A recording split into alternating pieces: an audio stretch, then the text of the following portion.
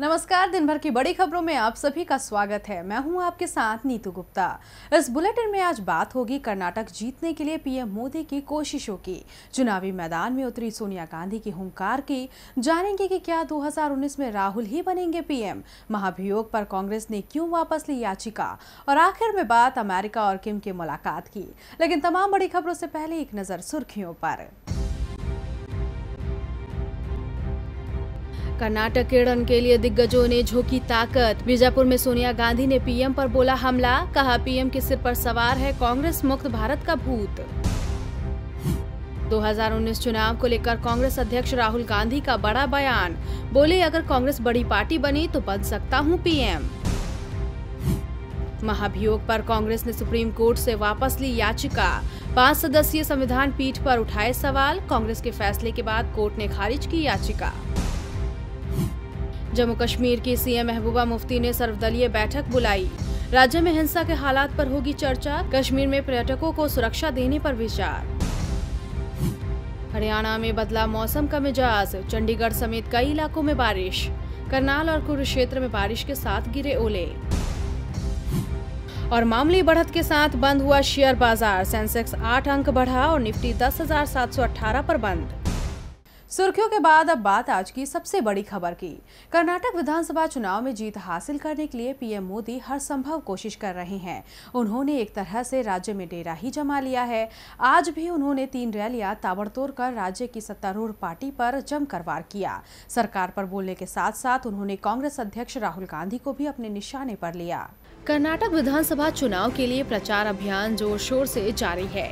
कल जैसे ही road show निकालकर कांग्रेस अध्यक्ष राहुल गांधी ने पीएम मोदी को फ़्लाइट मोड में रहने वाला बताया तो पीएम मोदी ने इसी वार पर पलटवार करने के लिए कौपल में जनसभा को संबोधित करते हुए उन्होंने कहा कि बीजेपी राष्ट्रभक्ति और समाज सेवा में भरोसा करती है, जबकि कांग्रेस सिर्फ़ परिवार के लिए काम करती है। हम काम के लिए फ़्लाइट मोड में रहते हैं, लेकिन कांग्रेस तो हमेशा स्लिप मोड में ही रहती है। इसीलिए तो उसने देश को बर्बाद कर दिया, जिसे हम ठीक कर रहे हैं। सीएम सिद्धारमैया पर बरसते हुए पीएम मोदी ने सवालों के तीर छोड़े। उन्होंने पूछा कि सिंचाई के प्रोजेक्ट का क्या हुआ, जिसका उन्होंने वादा किया था। उस प्रोजेक्ट पर पैसा कहाँ गया? पीएम मोदी ने कांग्रेस की नाकामियों को गिनवाने के साथ अपना गुणगान भी किया। उन्होंने कहा कि हमने बाईस हज़ार ग्रामीण हाटों को अपडेट करने की योजना बनाई है, ताकि किसान को अपनी पैदावार का सही दाम मिल जाए। अब आपको येदियुरप्पा की सरकार बनानी है। ताकि किसानों का भला हो सके। पीएम ने तो कांग्रेस को कोसते हुए वादों और दावों की झड़ी लगा दी, लेकिन देखना होगा कि जनता इस पर विश्वास करती है या नहीं। डीबी लाइव की रिपोर्ट। कर्नाटक के दंगल में बीजेपी की पूरी फौज उतर चुकी है, लेकिन कांग्रेस की तरफ़ से अब तक अध्यक्ष राहुल गांधी ने ही मोर्चा संभाल रखा था, पर अब सोनिया गांधी भी उनका साथ देने के लिए इस रण में कूद पड़ी हैं। कांग्रेस की पूर्व अध्यक्ष ने आज बीजापुर में रैली कर बीजेपी पर जमकर भड़ास निकाली। उन्होंने पीएम मोदी के कांग्रेस मुक्त भारत के सपने पर तंज कसते हुए कहा कि पीएम मोदी के सिर पर भूत सवार हो गया है। दो साल बाद कांग्रेस की पूर्व अध्यक्ष सोनिया गांधी जब पार्टी का प्रचार करने मैदान में उतरी तो उनके वही पुराने तेवर बरकरार थे। वो जैसे पहले बीजेपी के खिलाफ हंकार भरती थी, आज भी उसी अंदाज में उन्होंने मोदी सरकार को ललकारा। आज बीजापुर में ही पीएम मोदी ने कांग्रेस को कोसा था, उसी ज़मीन पर खड़े होकर सोनिया गांधी ने भी पीएम मोदी को आईना दिखाया। कांग्रेस की पूर्व अध्यक्ष सोनिया गांधी ने पार्टी के कामों का गुणगान करते हुए कहा कि कांग्रेस की सिद्धारमैया सरकार ने कर्नाटक को नंबर वन बनाया है। जिन राज्यों में सूखा पड़ा, उनको केंद्र की मोदी सरकार ने करोड़ों रुपए दिए, लेकिन कर्नाटक के साथ भेदभाव किया। केंद्र सरकार की ओर से मदद नहीं मिलने के बावजूद सिद्धारमैया सरकार ने किसानों के कर्ज को माफ़ किया। कांग्रेस सरकार लगातार विकास का काम कर रही है, लेकिन मोदी सरकार ने इनको खत्म करने का काम किया।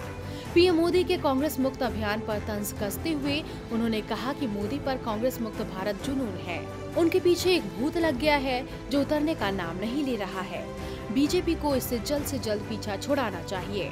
आपको बता दें कि सोनिया गांधी गुजरात प्रचार में भी नहीं उतरी थी, लेकिन कर्नाटक से उनका खास नाता है। उन्होंने सियासत में कदम रखने के बाद पहला चुनाव 1999 में कर्नाटक के बेल्लारी लोकसभा सीट से लड़ा था। इसीलिए सोनिया कर्नाटक को काफ़ी अहम मानती हैं। तो अब देखना होगा कि सोनिया गांधी के प्रचार करने का कांग्रेस को कितना फ़ायदा मिल पाता है। डीवी लाइव की रिपोर्ट। कर्नाटक में पीएम मोदी वादों की झड़ियाँ लगा रहे हैं। लेकिन सोनिया गांधी ने वादों पर तंज कसते हुए कह दिया कि पेट वादों से नहीं, काम से भरता है। जो कांग्रेस ने किया है, वैसे सोनिया के प्रचार से कांग्रेस को ताकत तो ज़रूर मिली है। शायद इसीलिए ही कांग्रेस अध्यक्ष राहुल गांधी ने आज खुलकर कह दिया है कि मुझे पीएम बनने से कोई ऐतराज नहीं। राहुल गांधी ने बड़ा बयान देते हुए कहा कि अगर दो हज़ार उन्नीस में कांग्रेस सबसे बड़ी पार्टी बनती है तो वो पीएम बन सकते हैं। दो हज़ार उन्नीस में बीजेपी किस चेहरे के दम पर चुनावी दंगल में उतरेगी ये सबके सामने है। बीजेपी के पास पीएम मोदी के अलावा कोई और विकल्प नहीं है। उनके पास केवल मोदी का ही एक चेहरा है, जिसके दम पर वो राज्य के चुनाव से लेकर लोकसभा का चुनाव लड़ती है। लेकिन कांग्रेस का चेहरा कौन होगा, इस पर सस्पेंस बना हुआ है। राहुल गांधी के अध्यक्ष पद की कमान संभालने के बाद ये कयास लगाए जा रहे हैं कि महामुकाबला राहुल गांधी बना मोदी होगा। राजनीतिक विशेषज्ञों के साथ साथ कई दिग्गजों का भी मानना है कि राहुल ही हाथ की नैया पार लगा सकते हैं। इसलिए पीएम के तौर पर उन्हें ही दाव लगाना चाहिए। हालाँकि अब तक कांग्रेस अध्यक्ष ने इस पर अपनी चुप्पी नहीं तोड़ी थी। लेकिन कर्नाटक चुनाव में पीएम बनने को लेकर उन्होंने बड़ा बयान दिया है। कर्नाटक चुनाव के प्रचार के दौरान जब कांग्रेस अध्यक्ष राहुल गांधी से सवाल किया गया कि क्या वो प्रधानमंत्री बनेंगे तो उन्होंने कहा कि अगर कांग्रेस पार्टी सत्ता में आती है तो क्यों नहीं? उन्होंने कहा कि अगर 2019 में कांग्रेस सबसे बड़ी पार्टी बनती है तो वो पीएम बन सकते हैं। राज्य में लोगों से बात करते हुए कांग्रेस अध्यक्ष राहुल गांधी ने कहा कि आप लोग अभी मेरे बयानों पर हंसेंगे, लेकिन 2019 में बीजेपी सरकार नहीं बनाएगी। उन्होंने कहा कि आज विपक्ष एक है, यही कारण है कि बीजेपी के लिए 2019 में मुश्किलें बढ़ेंगी। अब 2019 में बीजेपी का क्या होगा, ये देखना होगा। लेकिन राहुल के बयान से तो साफ़ हो गया है कि अगर हाथ मज़बूत होता है तो राहुल ही पीएम बनेंगे। डीवी लाइव की रिपोर्ट। लोगों को इस जवाब का इंतज़ार था कि राहुल गांधी पीएम बनना चाहते हैं या नहीं। वो इंतज़ार राहुल ने आज खत्म कर दिया। वैसे लोग महाभियोग पर भी सुप्रीम कोर्ट के फैसले का इंतज़ार कर रहे थे, पर कोर्ट अपना फैसला सुनाता उससे पहले ही कांग्रेस ने मामले को पाँच जजों की पीठ को सौंपे जाने से नाराज़ होकर याचिका को वापस ले लिया। पार्टी के इस फैसले के बाद न्यायमूर्ति ए के सीकरी की अध्यक्षता वाली पाँच जजों की पीठ ने याचिका को खारिज कर दिया।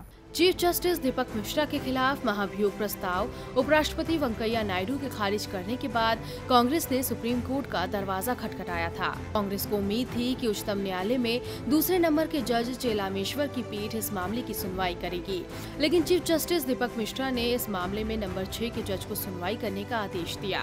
सुनवाई के लिए पाँच जजों की पीठ का गठन किया गया। चीफ जस्टिस के इस फैसले आरोप कांग्रेस विफर गई और कांग्रेस नेता और वरिष्ठ वकील कपिल सिब्बल ने मंगलवार को सांसद प्रताप सिंह बाजवा और अमी हर्षदरे यागिक द्वारा दायर याचिका को वापस ले लिया। दरअसल मंगलवार को मामले की सुनवाई तो शुरू हुई थी 45 मिनट तक बहस भी चली। सिबल ने सवाल किया कि मामले की सुनवाई के लिए पाँच न्यायाधीशों की पीठ गठित करने का आदेश किसने दिया? इसके बाद उन्होंने संविधान पीठ को सौंपने के आदेश की कॉपी मांगी, जिस पर न्यायमूर्ति ए के सिकरी की अध्यक्षता वाली पाँच जजों की पीठ ने इनकार कर दिया। उन्होंने कहा, हम महसूस कर रहे हैं की आपका इरादा कुछ और है। आप राज्यसभा सभापति के आदेश पर बात ही नहीं, बल्कि मामला किस पीठ को सौंपा गया इस पर बहस कर रहे हैं। इस बीच अटॉर्नी जनरल के के वेणुगोपाल ने कहा कि उन्हें याचिका पर शक है, क्योंकि इसे सिर्फ़ कांग्रेस पार्टी के दो सांसदों ने ही चुनौती दी है, जबकि महाभियोग प्रस्ताव सात दलों के चौसठ सांसदों ने दिया था। इसका मतलब है कि बासठ सांसदों ने सभापति का फैसला स्वीकार कर लिया है। कोर्ट में 45 मिनट चली बहस के बाद आखिरकार कांग्रेस ने याचिका वापस ले ली। फिर कोर्ट ने भी इसे खारिज कर दिया। लेकिन सवाल उठता है कि जब मामला दूसरे नंबर के जज को दिया जाना चाहिए था तो फिर पाँच जजों की पीठ का गठन क्यों किया गया? डीबी लाइव की रिपोर्ट। महाभियोग पर ये महासंग्राम देश की राजनीति में नया इतिहास लिख रहा है। वैसे इतिहास को लेकर तकरार अलीगढ़ मुस्लिम विश्वविद्यालय में भी जारी है, जहाँ छात्र जिन्ना की तस्वीर नहीं हटाने पर अड़े हुए हैं। तो वहीं दूसरी ओर हिंदुवादी संगठनों ने मांग तेज कर दी है। इसी बीच अब कहा जा रहा है कि जिन्ना की तस्वीर हटाने को लेकर जल्द ही ए कार्य परिषद में प्रस्ताव लाया जाएगा। जिन्ना की तस्वीर ने अलीगढ़ मुस्लिम यूनिवर्सिटी में ऐसा बवाल खड़ा किया कि एक हफ़्ता बीत चुका है पर विवाद खत्म होने का नाम नहीं ले रहे हैं। हंगामा और ज़बरदस्त हो रहा है। हिंदुवादी संगठन और मुस्लिम संगठन आमने सामने आ गए हैं। हंगामे के बाद अब इस मामले में नया मोड़ भी आ गया है।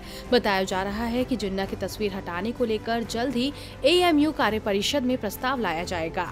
यूपी के अल्पसंख्यक आयोग के अध्यक्ष और एएमयू कार्य परिषद के सदस्य तनवीर हैदर उस्मानी ने कहा कि जिन्ना की तस्वीर एएमयू में किसी भी सूरत में नहीं होनी चाहिए। इसके लिए जल्द कार्रवाई शुरू की जाएगी। आपको बता दें कि ये फैसला प्रदर्शन और हंगामे के चलते लिया गया है। कई दिनों से तस्वीर को लेकर विश्वविद्यालय में मुस्लिम संगठनों और हिंदूवादी संगठनों की तरफ़ से प्रदर्शन किया जा रहा है। यहाँ तक कि मुख्यमंत्री योगी आदित्यनाथ ने भी स्पष्ट कर दिया था कि जिन्ना को इतना महत्व देने का कोई मतलब नहीं है। इसके बाद ही विश्वविद्यालय कार्य परिषद ने प्रस्ताव लाने की कवायद शुरू की है, ताकि शिक्षा का मंदिर संग्राम स्थल न बने। डीबी लाइव की रिपोर्ट। जिन्ना की तस्वीर पर तकरार कब खत्म होती है, ये देखना होगा। वैसे देखना ये भी दिलचस्प होगा कि लालू यादव अपने बेटे की शादी में शामिल हो पाते हैं या फिर नहीं। आरजेडी सुप्रीमो लालू यादव के बड़े बेटे तेज प्रताप यादव 12 मई को शादी के बंधन में बंधेंगे। लेकिन इस शादी में लालू यादव के ही शामिल होने पर सस्पेंस बना हुआ है। बेटे की शादी में जाने के लिए लालू ने पाँच दिन की पैरोल मांगी है। लालू दस से चौदह मई तक अपने घर जाना चाहते हैं। हर पिता की ख्वाहिश होती है कि वो अपने बेटे को घोड़ी चढ़ते हुए देखे। लालू यादव भी चाहते हैं कि जब उनके सबसे बड़े बेटे तेज प्रताप के सिर सहरा बंधे तो वो वहाँ मौजूद हों। वो भी खुशियों में शामिल होकर बारात में नाचे गाए। अपनी इसी तमन्ना को पूरा करने के लिए लालू यादव ने पुलिस को पाँच दिन की पैरोल के लिए आवेदन दिया है। आरजेडी के राष्ट्रीय महासचिव और लालू के करीबी भोला यादव ने बताया है कि 10 से 14 मई को पार्टी प्रमुख की पैरोल के लिए पुलिस महानिरीक्षक जेल को आवेदन दिया गया है। हमें उम्मीद है कि हमारे नेता अपने बेटे की शादी में शामिल हो पाएँगे, क्योंकि ऐसा अवसर जीवन में एक बार आता है। आपको बता दें कि तेज प्रताप की शादी 12 मई को होगी, लेकिन लालू के शामिल होने पर सस्पेंस बना हुआ है, क्योंकि चारा घोटाला मामले में लालू यादव को सजा सुनाई गई है और खराब स्वास्थ्य की वजह से वो झारखंड के रिम्स में भर्ती है। तो देखना होगा कि लालू को बेटे की बारात में शामिल होने की इजाज़त मिलती है या नहीं। डीबी लाइव की रिपोर्ट। और बुलेटिन के आखिर में बात अमेरिका और किम की संभावित मुलाकात की। उत्तर कोरिया और अमेरिका के बीच होने वाली मुलाकात को लेकर कहा जा रहा था कि डोनाल्ड ट्रंप जितने उत्साहित हैं, उतने ही किम जोंग उन भी हैं। लेकिन उत्तर कोरिया के शासक तो कुछ और ही सोच रहे हैं। उन्हें अब भी लगता है कि अमेरिका षड्यंत्र रच रहा है। इसीलिए उत्तर कोरिया के प्रवक्ता ने साफ़ कह दिया है कि मुलाकात को लेकर अमेरिका ज़्यादा खुश न हो, क्योंकि किम का मूड कभी भी बदल सकता है। दरअसल उत्तर कोरिया को लगता है कि अमेरिका उसके और दक्षिण कोरिया में बने रिश्ते को बिगाड़ रहा है। तभी तो उत्तर कोरिया ने अमेरिका के उस दावे की तीखी निंदा की है, जिसमें अमेरिका ने दक्षिण कोरिया के राष्ट्रपति मून जाए इन और किम जोंग की मुलाकात के बाद कहा था कि राजनीतिक दबाव और प्रतिबंधों की चेतावनी को लेकर दोनों के बीच बातचीत होनी चाहिए। ट्रंप की ये टिप्पणी उत्तर कोरिया को रास नहीं आई और उसे लगने लगा कि अमेरिका दोस्ती में दरार डाल रहा है। उत्तर कोरिया के प्रवक्ता ने कहा है कि अमेरिका उस माहौल और मूड को बिगाड़ रहा है, जो किम जोंग उन और मून जाए इन की मुलाकात के बाद बना। अगर अमेरिका दोनों के रिश्ते को बिगाड़ने की कोशिश करेगा तो उत्तर कोरिया भी अमेरिका को जवाब देगा। हो सकता है कि जिस मीटिंग को लेकर ट्रंप खुश हो रहे हैं, किम उस पर अपना मूड बदल ले।